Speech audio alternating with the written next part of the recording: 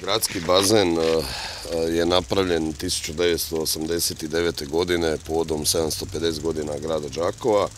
Obnovljen je 2003. godine. Obzirom da se radi o dakle, vanjskim bazenima, e, rok trajanja tih bazena je dakle, kada trebaju ići u rekonstrukciju negdje 10 do 15 godina i neovisno i o kvaliteti radova koji su izvedeni.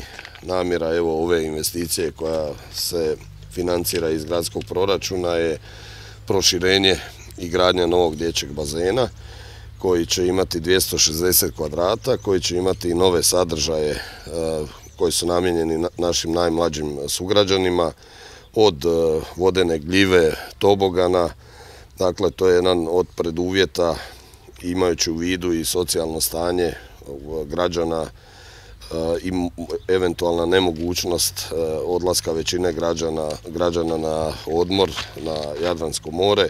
Evo željeli smo putem ove investicije osigurati i bolje i ugodnije ljeto ovdje u gradu Đakovu.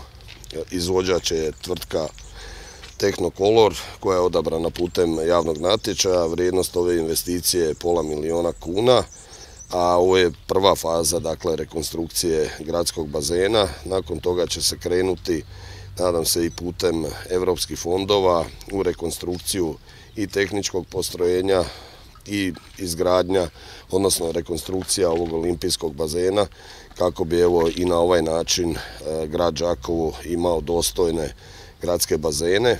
U svakom slučaju razmatramo i mogućnost gradnje nadkrivenog bazena ili eventualno nadkrivanje tijekom e, zime ovog olimpijskog bazena e, i nadam se da ćemo uspjeti putem europskih fondova osigurati i sredstva kako evo e, ta veća rekonstrukcija ne bi išla isključivo na račun gradskog proračuna.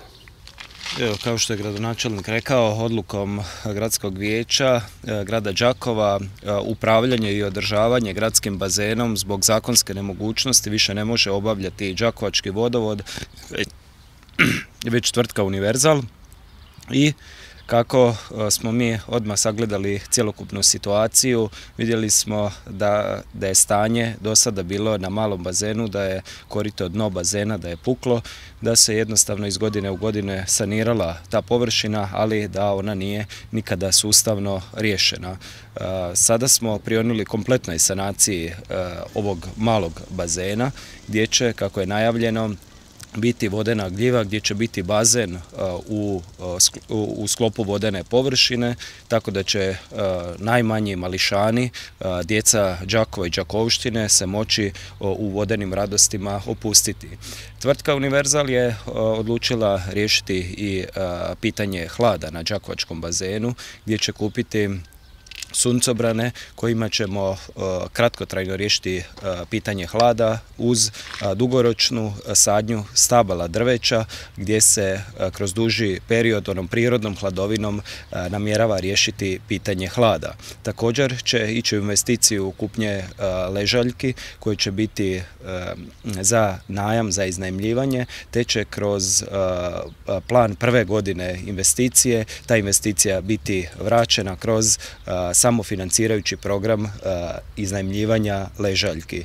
Također e, želim napomenuti da ćemo e, već od sljedećeg tjedna čim krenu javni radovi zajedno s njima krenuti u kompletno čišćenje postojećeg velikog bazena kao i čišćenje i farbanje ograde, a uz ovaj mali bazen koji se nalazi iza nas krenut ćemo i u zgradnju hidromasažnog bazena za 12 osoba gdje će praktički ovo Đakovačko kupalište učiniti Đakovačkim akvaparkom. Ujedno želim uh, posebno istaknuti dobru suradnju i sa gradom Đakom i sa gradonačelnikom gdje uh, partnerskim odnosom, uh, zajedničkim naporima ulažemo maksimalno napora da napravimo ovu investiciju gdje bi bio početak otvorenja kupališne sezone ovisno o vremenskim prilikama, ali između 10. i 15. 6. Dakle, svi ovi radovi ove prve faze će biti do tada gotovi.